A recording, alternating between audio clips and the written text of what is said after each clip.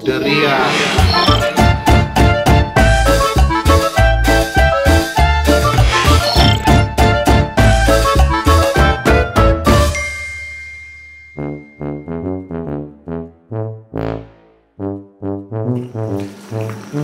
Halo, selamat datang kembali di The Rians di Koi 89 Disclaimer dulu sebelum gue mulai ya. Apa yang gue disclaimerin? Bahwa Satu tempat penjualan ikan koi dan breeding ikan koi ini yang ada di Lombok Itu hasil breedingannya berasal dari dua indukan.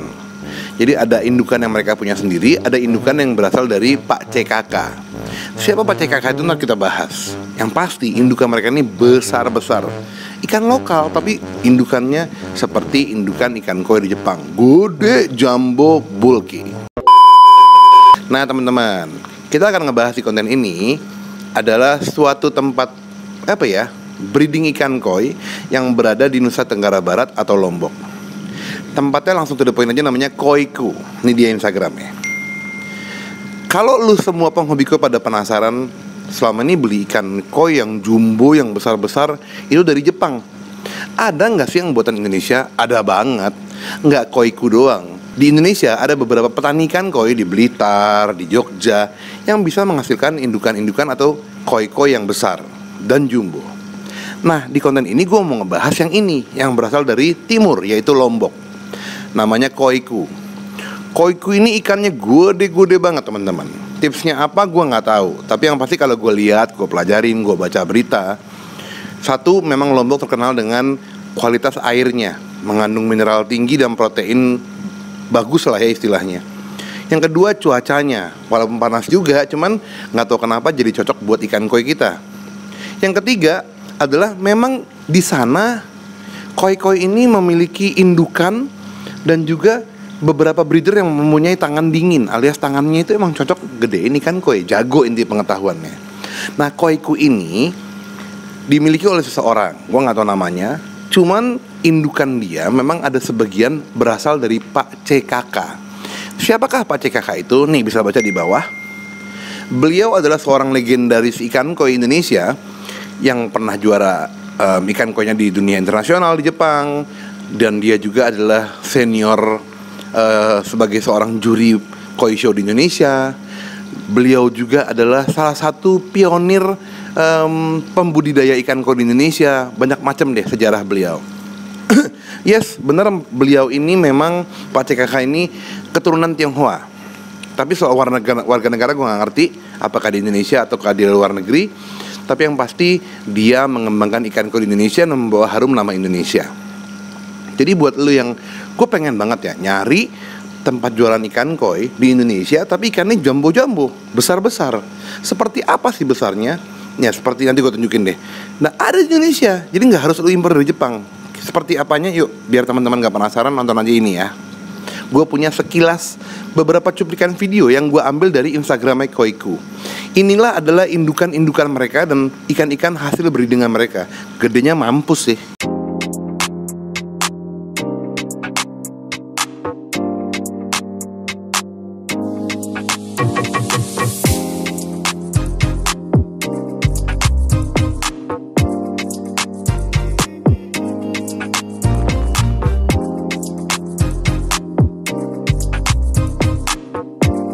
Gimana teman-teman? Gila ya keren ya. Nah, salah satu rahasia tadi udah gue bongkar. Kenapa bisa ikan di sana gede-gede? Karena koiku dengan Pak CKK ini setelah size berapa ikannya itu mereka menaruhnya di mat pond dan mereka nanti membuat um, menghasilkan panen ya alias memanennya beberapa bulan kemudian. Mat pond itu sekali lagi gue ingetin karena banyak yang udah tahu pasti maaf nih gue cuma izin ingetin adalah sebuah kolam natural kolam lumpur. Iya. Bukan beton yang tentunya memiliki mineral yang tinggi pakan naturalnya ikan koi dari keong cacing dan lain-lain ada lengkap. Nah sebesar apa dan seberkualitas apa ya matpon yang mereka miliki punya koiku? Nih teman-teman bisa lihat. Gila ya. Kolamnya gede. Ikan koi kalau taruh di sini nih itu kayak buah di perem 3 4 bulan sampai 6 bulan kemudian lu angkat lagi dari size 45 atau 50 bisa jadi 80, bisa jadi uh, 90, macam-macam tergantung genetikanya. Nah, sekarang penasaran dong, gimana sih kualitas ikan-ikan mereka? ikan-ikan mereka ya sangat kualitas tapi gue saranin kalau lu nyari ikan koi di koiku itu lebih condong ke gosanke sowa kohaku sanke mereka lebih banyak ikan seperti itu. Kalau lu mau nanya, Yan di koiku gimana? Ada nggak ikan satu warna seperti karasi, eh, cagoy? Ada juga, cuman memang gue saranin tidak karena mereka lebih konsen ke koi jenis tiga tadi, gosanke. Soal harga, teman-teman bisa lihat sendiri di, di Instagram mereka mereka suka jual size 45 sampai 50 cm sekitar 8 jutaan. Mahal ya, ya? Gak mahal sebenarnya. Buat kita mahal. Tapi maksud gue buat penghobikan kok yang punya uang dan juga mereka tahu ikan berkualitas, lu bayangin teman-teman, sebagai pembanding aja biar fair. Ikan import dari Jepang, size 40-50an dari farm-farm terkenal kayak Dainichi, Torazo, dan lain-lain, harganya bisa 50-60 juta. Yang udah berkualitas dan bibit nih Tata ya bakal bagus masa depannya. Bakal gede apa patternnya bakal keren warnanya bakal muncul gitu. Nah ikan-ikan ini berkualitas juga nih yang dijual koiku tapi hanya 8 juta dengan size 45-50 cm lu bandingin dengan harga yang Jepang tadi beda jauh dong jadi intinya koiku ini kalau bisa gua kasih apa ya pendapat pribadi mereka ini mendevelop ikan koi berkualitas import dari Jepang yang gede dan juga sehat tapi harganya sebenarnya cukup masuk akal. Ingat ya, gue nggak bilang murah, ntar tersinggung lagi. Cukup masuk akal. Mahal 8 jutaan, 10 jutaan. Cuma kalau lo beli yang impor yang puluhan juta, lo mungkin lebih apa ya, mengorek apa kocek lo lagi, mengorek dompet lo lagi gitu. Gue pribadi teman-teman mungkin belum mampu beli ikan kue 8 10 jutaan. Tapi at least dengan adanya konten ini bisa memberitahukan teman-teman nih yang emang mau serius punya ikan kue jumbo dan lu mau nabung mungkin nyisihin sebulan satu juta atau lima ratus ribu bukan berarti kita kaya ya cuma kita nabung gitu serius niat mau punya ikan koi atau indukan ikan koi yang bagus ya why not lu coba memelihara dan membeli ikan koi dari koiku bisa dibilang jadi ikan-ikan mereka bibit jumbo, bibit besar dan yang nggak kalah penting adalah bibit bagus sebagai calon indukan kita kalau lu mau belajar memijah di rumah atau menjadi petani koi sekalian. Jadi emang seru banget. Nah, beberapa konten gue akan tunjukin, tunjukin lagi sambil gue ngobrol nih ya. Ini adalah ikan-ikan mereka yang gue ambil dari Instagram mereka, Koiku. Lu bayangin ikan-ikan ini bisa sebesar ini teman-teman. Gila ya, jarang loh di Indonesia ikan koi bisa sebesar ini dengan kualitas lokal. Sekarang kita perdebatkan soal lokal atau impor. Sekali lagi mereka klaim bahwa ikan mereka adalah ikan lokal Indonesia Walaupun indukannya import Asal mulanya ya Memang bagi penghobi ikan atau hewan dan binatang Ada istilah F1 F1 itu di mana indukannya import Asli import Dari negara asalnya itu hewan. Kita pijahin atau kawinin di sini kembang biakin. Lahirlah anaknya. Bapak ibunya Indo nih import. Anaknya tapi lahir di Indonesia disebut F1 Nah, sedangkan Koiku nggak pernah mau ngomong itu F1. Pokoknya indukannya memang impor, tapi karena ini kita breeding di Indonesia dan lahir di Indonesia, kita sebut itu ikan lokal, kebanggaan Indonesia. Keren ya? Jadi teman-teman, konten ini bisa menambahkan hazanah dan juga pengetahuan lu bahwa ada satu lagi breeder atau petani ikan koi yang berkualitas tinggi, ikannya punya harga dan punya kelas banget, berada di Nusa Tenggara Barat, Lombok namanya Koiku. Nah, seru ya. Jadi teman-teman, selamat menabung kalau lo mau beli ikan di mereka.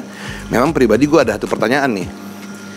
Kalau nanti lu punya duit, itu beli, ngirimnya gimana ya ke daerah lu atau ke provinsi lu? Berapa biayanya tuh dari Lombok? Semoga adminnya Koiku ada yang komen di video kita ini ya. Berapa biayanya kira-kira? Kalau ke Lampung berapa? Ke Aceh berapa? Ke Kalimantan berapa? Ke Irian Jaya berapa? Ke Surabaya berapa? Ke Bali berapa? Silakan adminnya Koiku gue undang untuk komen dan ngasih informasi tambahan di konten gue ini. Tambahan informasi, teman-teman jangan kaget. Kalau lu ngeliat Instagram Koiku kok jarang banget mereka mengupdate atau melakukan promosi atau sosialisasi sel ikan koi gitu dijual emang setelah gue wawancara sedikit dengan chatting de de lewat Instagram mereka, mereka bilang mereka sebenarnya sih bisa dibilang breedingin itu untuk hobi pemakaian sendiri. Tapi ketika ada yang mau dijual, bukan berarti sisaan ya. Ya kita juga pasti akan jual. Nah, kalau lu penasaran di mana mereka ngupdate jualan ikan-ikan terbaru mereka, baby koi mereka, uh, jumbo tosai mereka, lu semua bisa DM Instagram mereka yang ini ya. Minta adminnya invite lu ke grup mereka. Mereka biasanya akan jualan tuh walaupun nggak sesering grup-grup jualan ikan koi lainnya yang ada di Indonesia yang berisik setiap hari jualan gitu. Kalau mereka ini seadanya aja ada ikan koi yang dijual mereka lelang lagi nggak ada nggak apa-apa. Nggak usah. Karena mereka pada dasarnya adalah seorang uh, para penghobi juga. Jadi mereka keeping beberapa ikan yang paling bagus. Beberapa yang paling bagus juga dijual. Jadi bukan berarti yang dijual cuma jelek-jelek doang. Oh enggak enggak karena prinsipnya ingat teman-teman semua petani ikan koi sama sih yang penghobi ikan koi. Kalau mereka rakus mau keeping semua ikan yang mereka anggap bagus ya jujur aja uang mereka juga akan mampus. Kenapa? Karena teman-teman seperti ta kita tahu ikan koi yang bagus salah satunya adalah dibesarkan oleh pakan yang premium, yang import, yang atau yang bagus dan itu punya harga. Jadi kalau kita rakus merek ikan koi banyak-banyak juga keeping semua deh, yang bagus keeping semua deh. Ya uang uang kita juga akan mampus akan kabur. Teman-teman jangan lupa kalau lu suka konten ini, lu ngerasa konten gue dan mulut gue ini agak ada manfaatnya buat pengetahuan lu soal dunia ikan koi, tolong banget bantuannya biar channel gue makin besar dan gue makin semangat buat konten untuk tekan tombol like, subscribe dan juga bagikan channel ini ya ke keluarga, teman, teman kantor, saudara, circle lu deh yang mungkin hobi koi juga atau pengen belajar ikan koi. Ayolah, ikan koi nggak gampang mati kok sebenarnya. Kuat-kuat aja. Yang penting kitanya memeliharanya dengan benar dan baik. Ihu. Iya. Salam satu hobi, salam Nishiki Koi, cheers baby. Assalamualaikum, bye-bye. Teman-teman, terima kasih ya sudah nonton Dorians. Jangan lupa subscribe, like, and share ya. Doakan kami bisa naik haji sekeluarga ya. Wassalamualaikum warahmatullahi wabarakatuh.